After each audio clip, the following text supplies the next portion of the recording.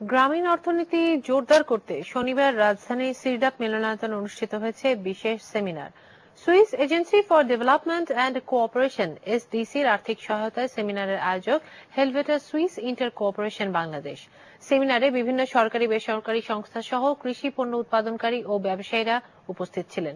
এতে গরু, মোটা তাজাকরণ, দুগ্ধ উৎপাদন এবং পোল্ট্রি বিষয়ক ভ্যালু চেইন নিয়ে প্রবন্ধ উপস্থাপন করা হয়। পরে প্রশ্নোত্তর পর্বে বিষয়গুলো আলোচনা হয়। এবার আন্তর্জাতিক। পারমাণবিক অস্ত্র